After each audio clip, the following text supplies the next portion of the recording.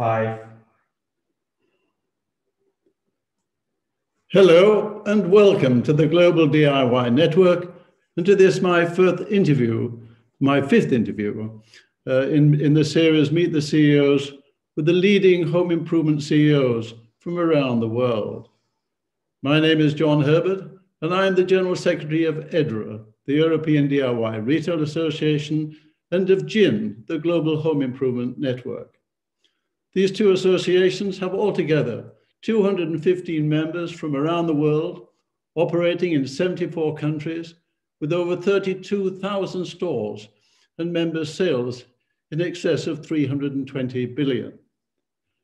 I would like to welcome today all our members from all over the world, wherever you may be, and also the members of our partner association, the HIMA, the Home Improvement Manufacturers Association, who also have global members, and also to the sponsors and the delegates who have registered for the Global DIY Summit to be held in Copenhagen later this year. It is a great pleasure and an honor today to have as my interview partner Mr. Carl Otto Løvenskiold. Mr. Mr. Is the owner and the chairman of Maxbo, which is a, a, leading chain of home improvement stores in Norway. So may I first of all welcome Carl Otto Løvenskiold. Hello, Carl Otto. Well, Thank you. Thank you so much, John. Yeah, well, it's a pleasure you're there. And I must say that having read about your history, I see you're the 13th generation of your company, which was founded, I think, was being going since 1649. That is a remarkable achievement. And I know you, it is a very well-known family. Your great-great-grandfather was the Prime Minister of Norway. So your company is steeped in tradition. So if you would tell us a little bit first about this remarkable history. Well, first of all, uh, thank you very much, uh, John, for inviting me and uh, it's a pleasure to see you again. These days, it's not too often that we had the opportunity to meet, and it is also a great pleasure for me to also to meet uh, all the good co colleagues from all over the world. And uh, as you said in the introduction, I'm uh, a very fortunate uh, uh, man, not young anymore. I used to be that when we met the first time Indeed. Uh, I am the owner of a Løvenskiold Vækerø, which is a very old uh, family-owned company in, in Norway. Uh, it was based in 1649 when my ancestors uh, bought uh, properties, forest properties around Oslo. And uh, later that developed into not forestry, but also sawmilling industry, ironworks, uh, both dependent on, uh, on timber as a raw material, and, uh, and was the main activity for, for, for many, many, many years. And as a company, we have been able, we have survived many difficult economical times and political uh, critical situations and and wars. And, and I'm sure that, that, many times during the history it has been a close bet. Uh, but uh, my ancestors has managed to to to stay alive and continuously develop the the company. And uh, if we go back, the properties that was bought in 1649, they are still with the family. And uh, uh, as you said, I'm the 30th generation uh, having the, the pleasure of, of, of uh, managing these wonderful properties and, and also the companies. And uh, my big ambition in life is, of course, not to be the last, and the 13th is, uh, has to be a good number uh, this time. Mm -hmm. And one of the things that uh, maybe characterize our family is that uh, the ownership has always been fairly limited and uh, uh gone from one generation to the next generation without being uh, diluted the ownership. So there's always been one owner of the of the company and the and the land estate, and that is the is the main reason that we have managed to to survive so many generations and uh, and my ancestors has uh, probably had a strong entrepreneurial uh, mm, uh gene and and um, they have always been very active uh, uh, looking for new businesses trying to develop the company continuously and, and today Løvenskiold Vækerø, we have uh, several activities. The DIY and building materials is the, by far the, the biggest operational activity, and the, the DIY and, and chain uh, Maxbo. Uh, we are also in real estate, uh, uh, recreation, residential, and uh, and and industrial, um, commercial real estate. We are in forestry and agriculture still, uh, also very closely related to the timber industry with sawmilling uh, production. We are part owner in the, in the second biggest company in Norway. And we have a portfolio of smaller company. Uh, uh it is a little bit easier to start than sell. And uh, what is characterized uh, that we also have a very long-term perspective. Uh, can you see me now, John? Hello? John?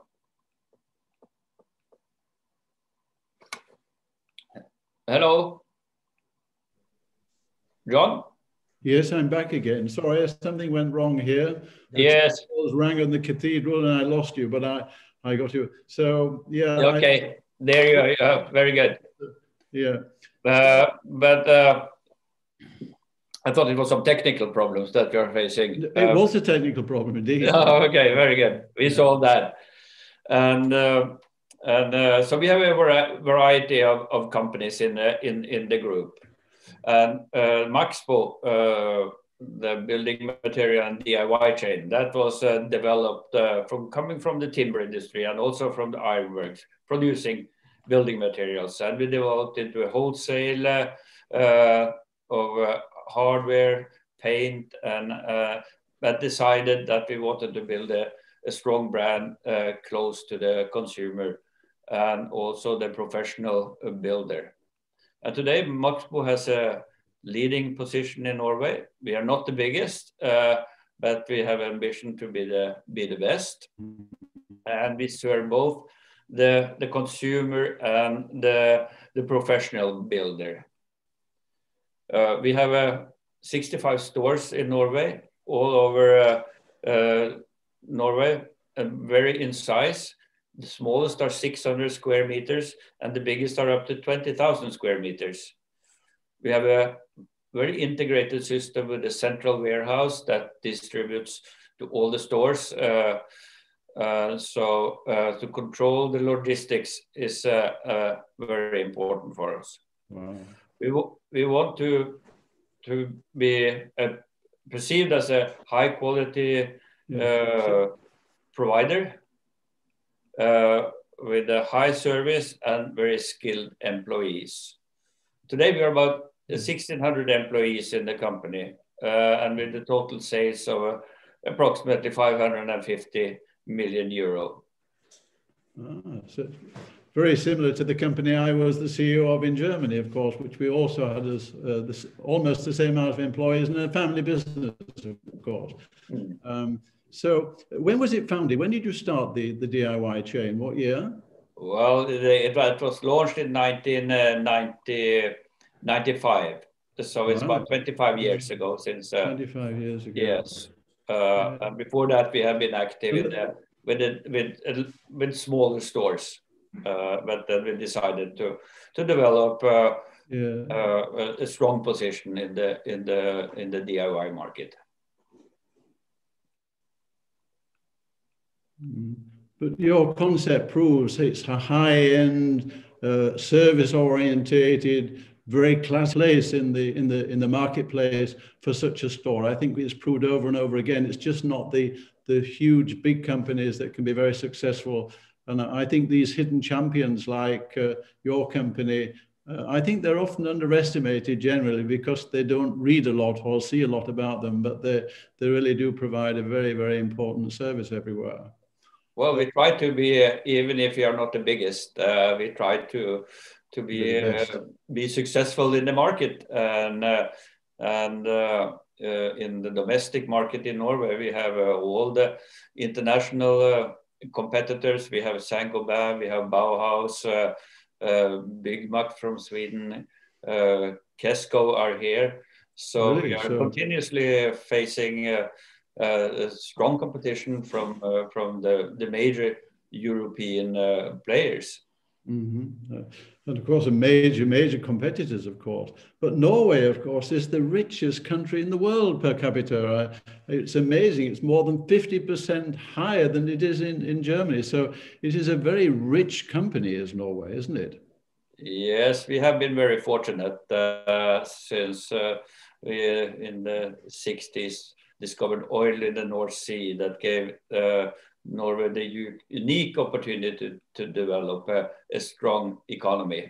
Uh, mm. And over time, it's uh, of course been very oil dependent, uh, but over time also managed to to develop a, a variety of, of industries. Uh, so being less dependent on oil in the future, and and uh, we are not that many people, five million people in Norway, and um, and uh, all the governments that has been during this time has been very uh, clear uh, following uh, the strategy that uh, all the surplus gain from the from the uh, oil sector is invested abroad. So I think Norway also is now very fortunate. So we have the biggest sovereign wealth fund in the world mm. with everything invested abroad and that is sort of the, the pension for the future. Yeah. Well, it's certainly a, very nice position for the country to be in. And uh, of course, the whole world is now is suffering from this awful pandemic. Um, I looked at the, the situation in Norway and the deaths of, of, of, people, and it's remarkably low. I think you've only had 550 deaths with a population of 5.38 million people.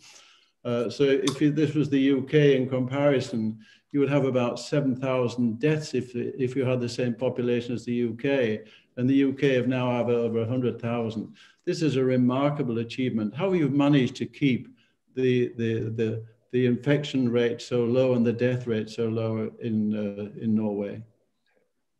Well, I think uh, I'm not a specialist in this, uh, but uh, first of all, I think we can say that we have had a, the, the, the government uh, with the prime minister in lead uh, has been uh, very good in, in how they have managed the situation. we're very early and taking the necessary actions to prevent the spread of the, the, the pandemic and, and combine that a bit by avoiding to close down the country as uh, we have seen in many, many European uh, uh, countries that have been suffering quite a lot more.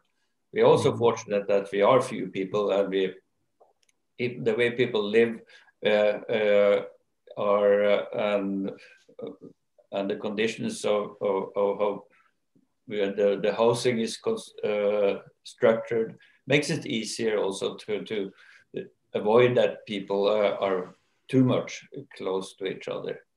Mm. But in general, I would say that uh, by taking the, the right decisions at the right time, uh, they managed to, to make it uh, a very successful story. And if you compare to Sweden or neighbor country, they are the, uh, the population is twice as Norway. They are 10 million, but I think they are close to 10,000 10, people now have died. 10,000 deaths, yeah. yeah. Yes, and they, well, they decided to do it another way. Uh, so really being very liberal, they have 10 times as many deaths. So it's a, a, terrible situation. From your 65 stores, have they always been open or uh, what is the situation now? Yes, uh, yeah, we have also been very lucky that we were, uh, we were not uh, uh, instructed by the government to, to close. So we managed to keep all our stores open and also our logistics centers, and, uh, and that has been in, uh, operating very well during the pandemic situation. And, uh, but of course, it has been a very challenging year because we have to adapt to all the the, the safety measures that we have, have to take yeah. to, to protect both our employees and also the all our uh, customers that visit us uh, on a daily basis. Mm. Have have the other stores closed in Norway? The other the fashion stores and the restaurants have they been closed as well? Uh, what will happen is that uh, late last fall, uh, the, the, restaurants had to close, not because they were closed, but they were not allowed to sell alcohol anymore, and mm. that made it difficult. And uh, what happened last a few days ago on Saturday, we had the first time the, the government decided that in the greater Oslo area, all stores should close and also all restaurants uh, are closed because the, it was detected that we got the UK, the English uh, mutant of the uh, virus, and they wanted to be very quick and, and stop.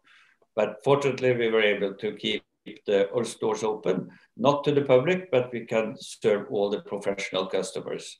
So this is the first time that it happened in a in the year since March last year. Mm-hmm. And hopefully so, this will be a very, very short time. Mm-hmm. So, how has the business been operating in the last year during the pandemic? Have you had higher sales than uh, everywhere in Europe where the stores have been open? They've been mainly open because they've been seen as essential retailing. The businesses have done very, very well. Is this the same in Norway? Yes, we uh, we have been very, very fortunate, and I can uh, I remember the days in the mid March uh, when the pandemic uh, situation broke out out there. We were all very, very scared and prepared that we would uh, lose sales and, and uh, the economy would be very, very difficult. And uh, but fortunately, the situation has been quite uh, the, the opposite. I have never in my career uh, um, seen any sales figures of growth uh, that we have seen in this year. The the consumer side of the uh, of the DIY market has had a on a nation base uh, growth of more than 25 close to 26 percent. Uh, and that follows a fairly slow first quarter last year. Mm. but also the professional sector uh, that has not been affected by the by the pandemic situation and the growth of, of uh, close to 8%. So it has mm. been a, in a, a fantastic year in this respect. And uh, people uh, have been able to, they have had to stay at home and uh, decided to invest in improving their homes and gardens and, and do what I probably have been thinking of for a long time the general feeling is that people have really discovered their homes in this pandemic again because they've been forced to stay at home. Uh, would you agree with that? That people are investing more in their homes because they they can't spend so much money on clothing or other things that uh, they're now investing in the home. Is that is that happening there? You think?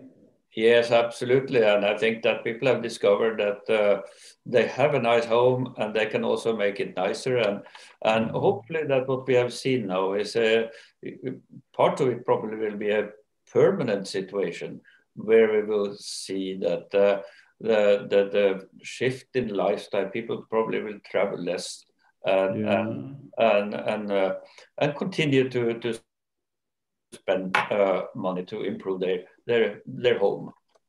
So going forward, so how would you, how, I mean, you're, you're a private company anyway, so probably you can speak a little easier. How do you see this year developing from today's point of view compared to last year in their sales? Do you think um, the general feeling is that this, uh, that this pandemic is going to go on for a little while, that people have discovered the homes and that people are generally optimistic about this year? Is that the case with you?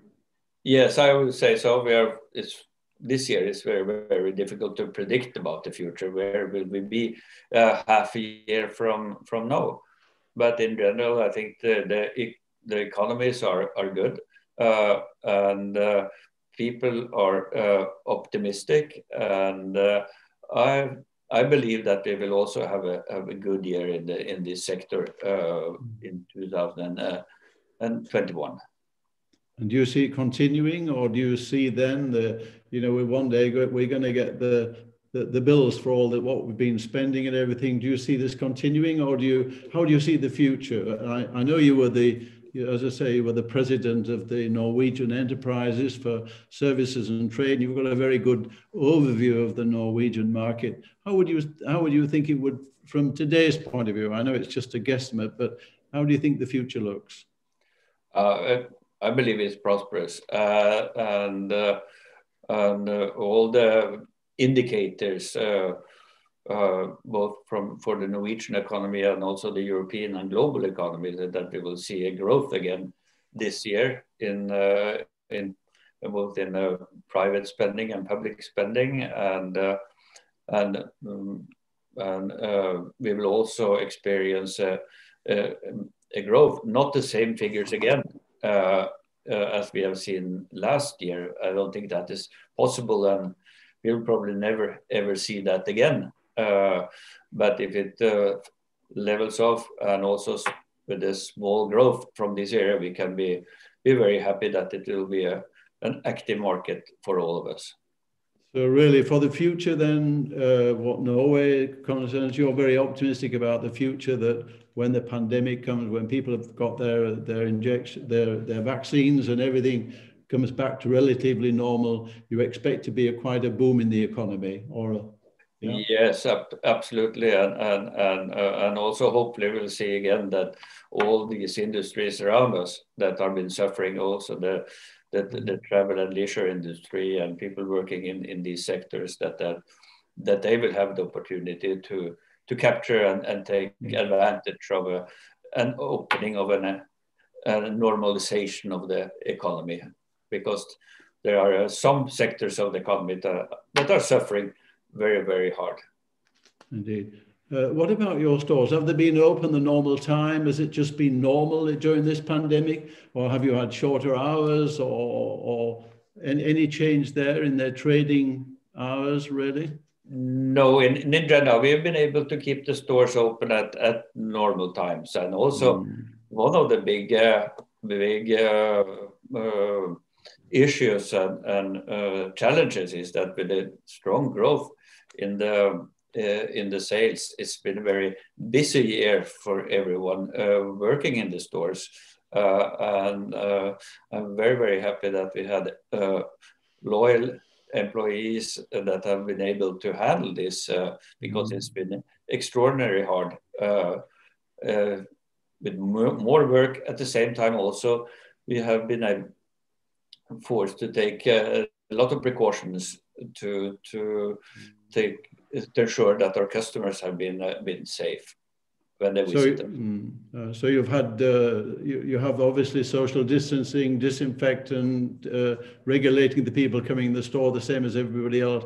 Have you had people, employees who didn't want to come to work because of the danger of infecting probably their parents, or have you had that problem at all? No, I have uh, never never heard any uh, uh, incidents of that. And um, um, I believe that both all of our employees and, uh, and customers have felt that they have been safe and we have mm. uh, done absolutely whatever we could uh, to mobilize and, and uh, uh, teach and develop and give all the necessary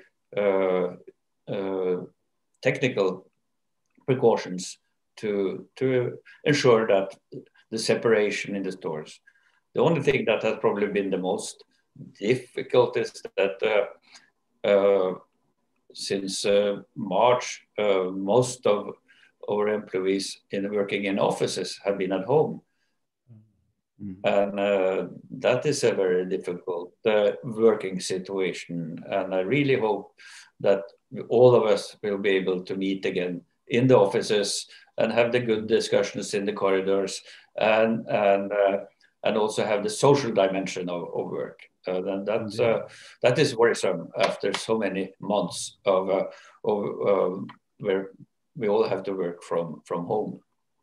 So once life becomes normal again, do you expect people to come back to the offices every day, or is this this home office people getting used to it? That probably in two or three years' time, people may work three days in the in the offices and two days at home, or do you see them going back to normal as it was before? Well, if you talk to people now, I think all of them miss their work and they miss their their colleagues uh, most of all, which is a very important. But I'm sure that uh, in in the future we will see uh, most likely a, a more flexible uh, uh, organization of the of the work with uh, part of the the work is done from home when that can be done. Mm-hmm. But in general, I think we are social people, and we want to we want to uh, associate with our colleagues, and and uh, we will be back in office. That is my belief. Yeah, indeed. I, I, think we've all had enough. Zoom is okay and seeing people on screens, but I've really missed the physical contact. I've missed, I travel 35 times a year and I've not traveled anywhere. I invite people, we have meetings, and now all we do is see people on television screens. And yes. but you, you don't get the same sort of vibes and everything. No, and, so, and the good, good ideas come when people talk to each other. Indeed, uh, indeed. We have to meet uh, our colleagues, but also meet our uh, suppliers, and we have to meet our um, uh, our customers also in a different way, and yeah. and that has to be personal. But I think our members have been exemplary the way they've been sharing their experiences and telling people we got all the safety measures out very early. We we get the feedback. We heard about uh, drive and collect rather than click and collect and what it means. And, uh, and and I think that we've responded. The industry itself has responded very well to this pandemic. Uh, so, what have you learned from this pandemic, uh, Carl Otto? Anything? Well, first of all, uh, uh, we have learned that uh, uh when it started, how important it is to have have good contingency plans, prepare the organization to handle situations that are not not normal, and and the management that are able to to handle it. And I think that is one of the, the great uh, learning experiences we have, and also how important it is to uh, be able to uh, improvise, take decisions quickly, uh, and also uh, in organizations that are uh, well distributed geographically to do everything you can to keep the information flow to your employees on a very high level and, uh, and uh, to avoid any kind of speculations and uh, fear for the situation. And also it's important also to, to ensure for, for everyone that uh, uh, they should not worry about the future. Mm. so many aspects of life wherein, wherein in change. And we wanted also employees to, to know that uh, uh, we wanted to, we have a long-term perspective and we also wanted to, knew that we, we, we would be able to go through these hard times uh, in a good way, but also as a, as a strong collective team and, and a team effort. Yeah, indeed. A year ago, we first heard really about the pandemic. It was only just about a year ago when the first death occurred in, in Germany, uh, and all that's happened. It's been it's been quite a, a, a quite quite a year.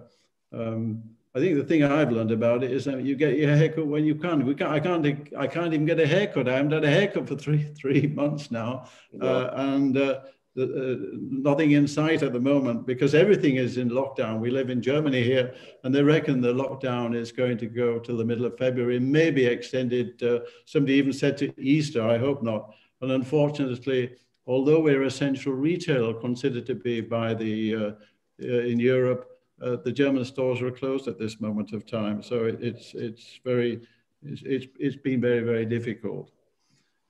So, um, but what has benefited in this, uh, you know, within the pandemic about the online sales? Everybody's talking about the boom in online.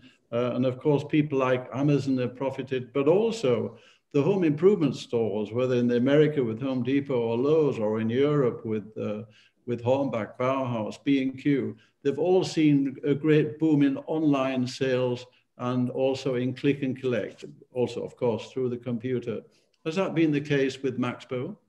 Oh yeah, absolutely, and, and we have uh, no read uh, uh, internet sales has uh, never been very uh, big in the DIY uh, industry in Norway. I don't think in in the rest of rest of Europe, but we have been working quite hard during the last years to develop good system to to be able to to to be a, a good distributor uh, through the uh, internet uh, e-commerce. And what we've seen is it was a it has maybe close to double close to three three doubled uh, during the the last uh, six months and uh, now we are getting close to 10% of the sales are uh, are e-commerce, and that has uh, been a tremendous growth during the last uh, last six months or nine months, mm-hmm. and I'm sure that we will that will be a permanent situation. We will um, see that the the consumer in the future also will use the e-commerce as a as a, the one of the channels that they select to uh, to be a customer of Maxbo. Mm. I mean, as the younger generation come through, there are more and more online sales, but 10% for a company, if I may say so, like Maxbo is very, very high. And uh, I also agree it will increase as it goes on. Do you see any danger? I mean, the people are, are forecasting sales on online in five, 10 years could be 30, 40% of sales. Do you see any do you see any changes in your physical stores, or uh, will you expand? Will you have more physical stores, or how do you see that in going forward? Yes, that is a absolutely a very very interesting question, and uh, there are there are discussions that uh, brick and mortar will uh, will lose in the uh, to e-commerce in the in the future, and we've definitely seen that in some retail uh, sectors. But I believe that uh, uh, the, the store will have a very important uh, function in the future.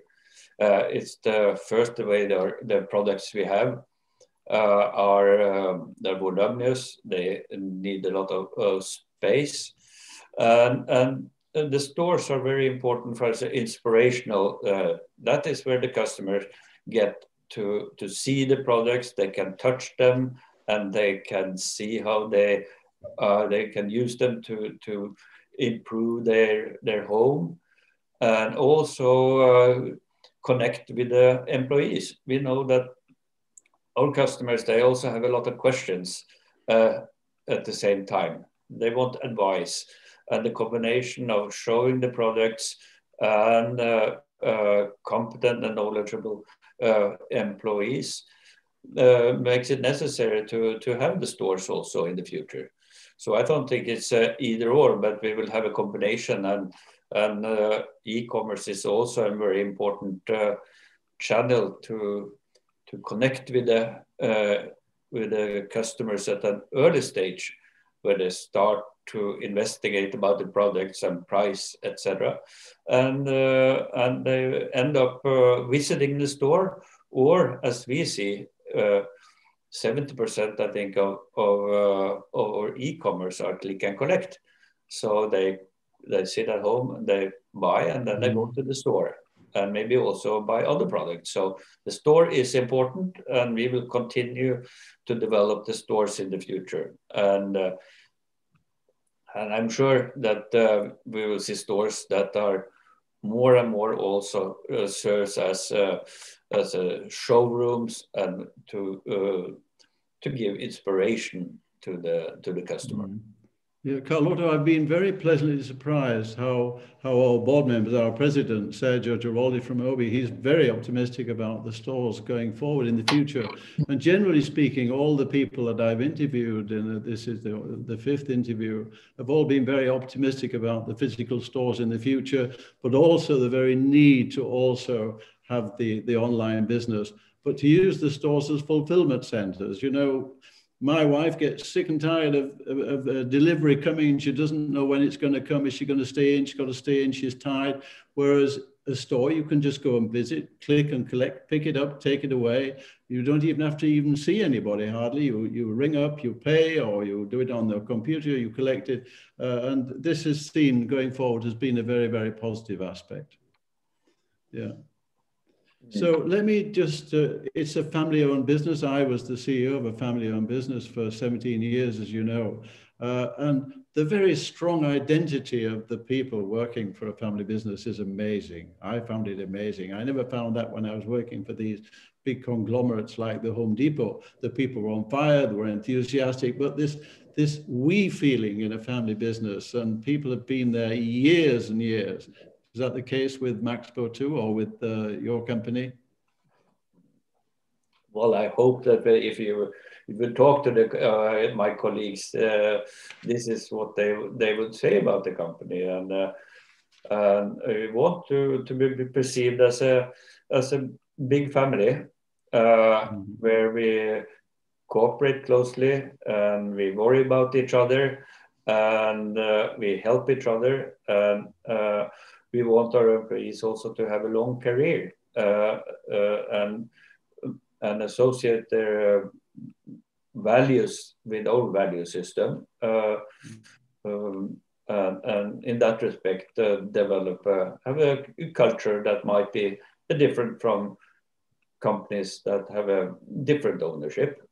Mm, yeah. But talking about values, I know you're very, very strong on corporate social responsibility, on climate change, on the environment.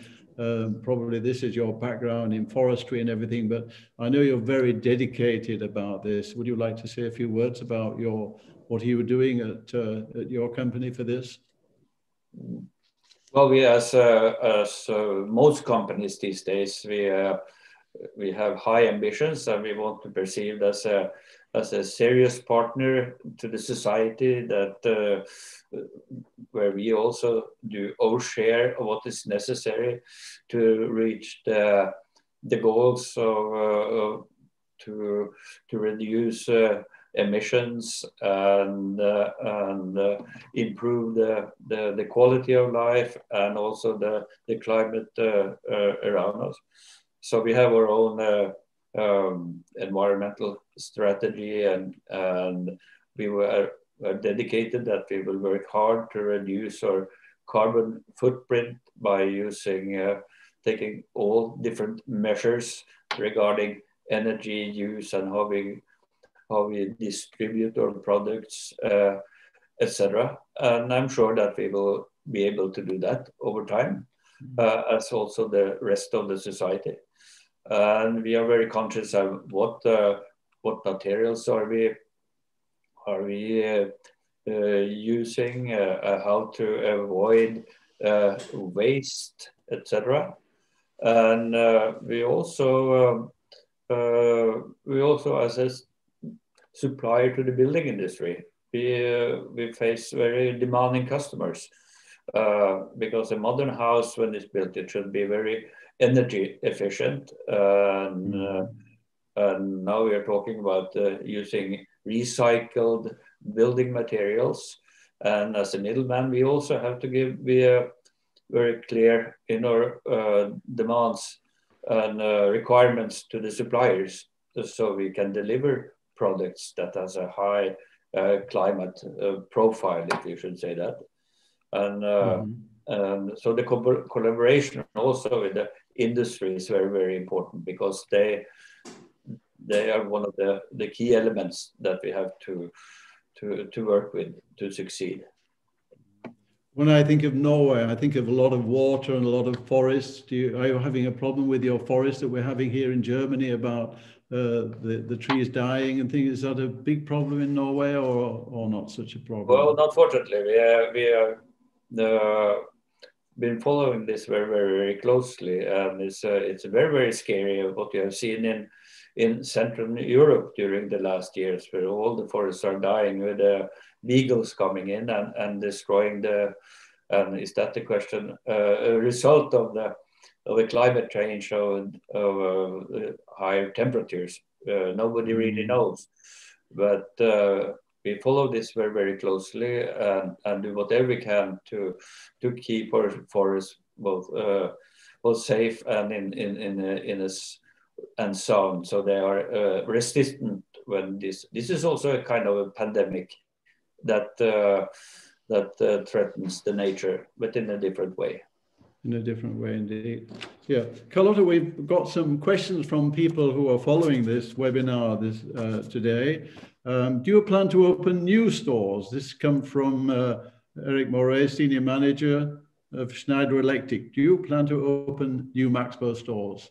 Oh yes, we have definitely. Uh, there we have plans to open uh, three new stores uh, in the in the coming 12, uh, 12 months. Mm-hmm. and, uh, and that will be in different places in, in Norway uh, of fairly fairly good size that will um,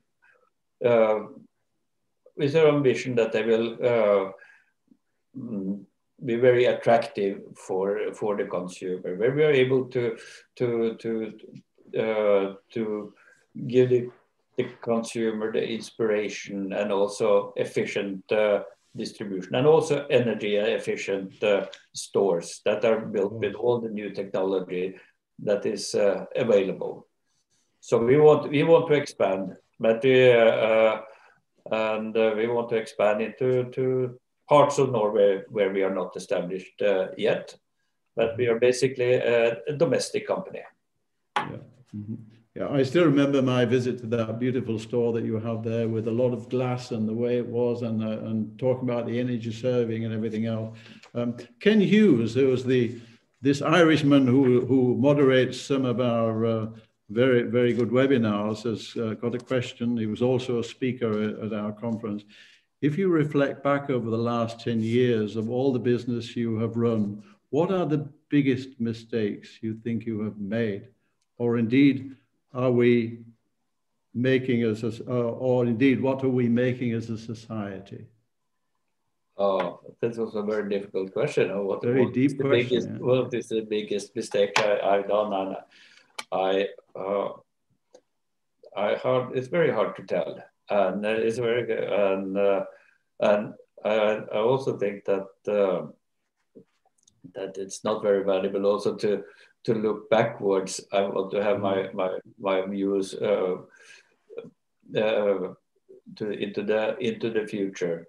Um, but one of the the, the old, always the the difficult uh, the questions when you're owning a company is uh, uh, you have always to to have a realistic uh, relation to, to, to, to the risk uh, how, how, mm. aggressive can you be? And I want to have to this company to be safe and also prepared for the future. And that's all, always a, a, balance. How much risk are you willing to take, and uh, mm. to, uh, to, to invest for the for the future? Mm. And that is always a, a, a difficult uh, decision. We want to keep private, remain private, and yeah. at the same time, we also want to to uh, invest aggressively for the future. Because privately, you can always think long term. I, have worked for very big corp. I worked for the Home Depot, and I worked for the biggest corporation in uh, in Germany, and I've also worked for a family business. Uh, and of course, in the family business, it's uh, you can think long term. You don't have to answer anybody. Um, you don't have to publish your figures. So it's a very, very nice situation and a very comfortable situation for everybody working in the firm, uh, rather than the hectic that sometimes comes in a, in a larger company. Uh, so I've now got a, a, um, a, question from Terry Coleman. You know Terry in Belgium. Yes. It's his birthday today, so I sent him a message this morning. Oh yeah, uh, his birthday, and he's he always answers uh, asks some interesting questions. He said, "In which regard has Maxbo experienced the business model to integrate B2B with B2C in its store development?" How do you analyze the potential to join both the universes of DIY store and the pro store for the trading? How do you analyze the potential to join? Yeah, you you've got professional stores and you've got the Maxbo stores, yeah. Mm. Yes, and, and that is always a, a, a, a dilemma because there, there might be a conflict in interests. Uh, but in general, we have over time learned that we can develop uh, very nice stores that uh, are attractive to the consumer, but also the way we treat our professional customers, the small uh, the carpenters, etc., that come to the stores. They have their own entrance. They have their office, their salespeople that they can meet, and they always uh, normally also come at different times of the day. We open some of the stores at six o'clock in the morning, and they are able to go there before they go to the the, the sites. And then we have the private consumers during the day, and and the, the professionals come back at, at at night again. And then we have combined this by having the logistics system. So when we uh, deliver uh, building materials and paint and everything to the to to the construction sites. That is uh, done from uh, dedicated uh, logistics centers. So the combination of the stores and efficient logistics has been the key focus for us to, to manage to handle both uh, customer categories uh, during under the same roof. Yes there is no dominant player in the Norwegian market, and uh, I think you're one of about eight or ten ch chains that are all doing very, very well in Norway. What is your USP? What is your unique selling point? What is why would I come to a Maxbo store than going to somewhere else from your point of view? Well, first of all, I believe that we have a strong brand. Everyone knows Maxbo, uh, and uh, is, uh, is in that case well well known and we have good locations. Location is always uh, very important. We have very central locations, uh, easy access for the uh, for the consumer, uh, and they are of uh, in in general compared to our customers, the uh, competitors. They are um, the big stores, wide uh, variety of of products, and compared to some other players in the industry. We are not a low price uh, mm. and low service provider. We want also to be known for having uh, well experienced people that are able to provide excellent service and uh, and because that is so important in in our industry and it's important that uh, to create to be sure that you will have repeat customers that come back. So uh, the size of the stores, the brand, and the the, the service level is uh, what we uh, are focusing on to to be attractive to the consumer. Yes. In our membership, we've got 215 members, as I said earlier on, but there are many companies, or only small, medium-sized companies like yourself, and all doing very, very well by offering quality, by offering service, by by by being by having a very good brand. So it, it's very very nice to see how how well Maxbo is doing. Rainer Strnad, who we all know from the Dähne, uh, he is the editor of the uh, of the Dähne uh, DIY uh, International. Do you develop new store concepts, particularly reach better the urban target groups, smaller proximity stores? Do you?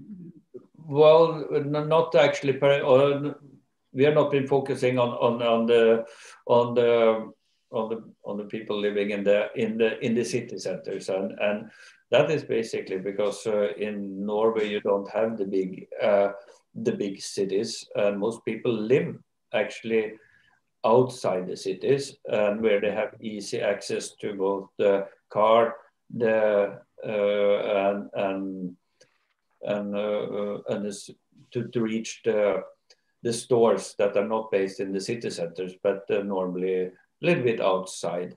So uh, uh, they are in Norway. We have a particular case now where they're trying to to to close Oslo that they're not supposed to to have cars there at all within a in a few years. So people really? yeah. the the people with cars will live outside Oslo and and most people living inside Oslo be the people working there and uh, mm -hmm. and leaving the city. So uh, we believe in, uh, in the concept of, of, stores that you can uh, reach by car. Mm -hmm. Carl-Otto, we have known each other since 2004. The, the EDRA was founded in 2002. You became a member, in, I think, at the end of 2004. Um, and you've been on the board all this time, and we've developed over the years to become quite a large organization. Uh, we've been very, very thankful for your input and for your for your wisdom and for your judgment on on many issues. So, what is what's this brought you as far as the uh, how do you see EDRA GHIN today? Mm. Uh, first of all, I think it's a, EDRA is a it's a unique organization, and it's been a a, great privilege, John, to uh, work together with you and having the, the opportunity to be on the board. And uh, it has given me so much uh, pleasure and inspiration, and also given me the opportunity to make friends all over the world. And, and I think that today, it's a unique organization that you probably find, don't find in, in many industries. Uh, where you, during all these years, John, mm-hmm. have been able to develop a true global organization and uh, that really connects uh, everyone. It's a great networking arena and it's an arena for, uh, for inspiration and also good personal relationships. Mm-hmm. And I think that EDRA is, uh, I would say, is the is the UN of the DIY industry. And mm. uh, you can be very, very proud of what you have, uh, have developed. And I, I, have great pleasure. And uh, I have been able to uh, connect with colleagues uh, all over Europe and in South America and in Australia. And we have been to tours uh, in Japan together. Japan, and, and all of this makes being in this uh, great family, EDRA family and GHIN family, uh, uh, a great value. Yeah, what I what has amazed me over these many years is how well people receive each other. You, you, you came with us when we went to Japan and we saw these wonderful Japanese stores and the, the hospitality of the Japanese people and the, what you learn. This was quite remarkable that how people can share their experiences and, and to see the friendship between, you know, Japan. Uh, uh, that you remember the tour, that was a wonderful tour we went on, of course. Yeah.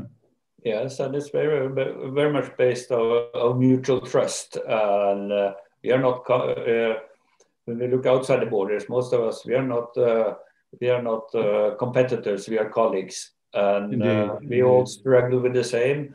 And uh, I'm very very uh, pleased with all the the, the willingness to share experience and and and information about how how they operate in the different countries. Mm -hmm. Well, I think that uh, that almost concludes our talk today. Uh, let's only hope that we can go ahead with the Global DIY Summit. Everything is in a turmoil at the moment. Let's only hope the the situation improve. But Carl-Otto, it's been a, a, huge pleasure for me to know you all these years, for you to be part of our organization and to see the way it develops. And uh, um, so probably I should give you the last word to see. And you, you're optimistic about the future within our industry, are you? The, the home improvement industry going forward? Uh, yes, I'm optimistic. Uh, I'm a born optimist, and you have to be that in uh, uh to, to survive, but I'm very optimistic for the DIY industry that we will have a very prosperous uh, future. Uh, mm-hmm. And uh, there's so much to be done. And we are in an mm-hmm. industry that there is still room for a lot of development, new technology, and, uh, and new, uh, new groups and new young people are coming in and have different demands. But we will be able to, to handle that. And and uh, I'm sure that both in, in Norway and the rest of the world, it will be interesting times that we have ahead of us. I'm looking forward to that. Well, Carl-Otto, it's been a, a, huge pleasure, I said, to, to interview you today. Uh, my next interview partner is also a colleague of a board member, which is Hiromasa Tsuchiya, who is the, the owner and the CEO of Cainz, the leading the number one home improvement company in Japan, which we're going to do in three weeks' time. Uh, and so we're continuing with our distinguished guests in these interviews, which uh, is always very enlightening. Thank you very much. I wish you continued success, and uh, uh, I hope that you will stay with us a long time before the next generation, and I'm sure it'll continue. So thank you very much indeed, and uh, I wish you well, and I look forward to meeting you physically again whenever that may be. That might that. Thank you very much, and I hope that we will meet again very, very, very soon. Yeah, thank by you. then I may nice have had a haircut. Yeah. Okay. Thank you. thank you. very much indeed. Okay, Carl-Otto. Thank you very bye much bye. indeed. Bye bye.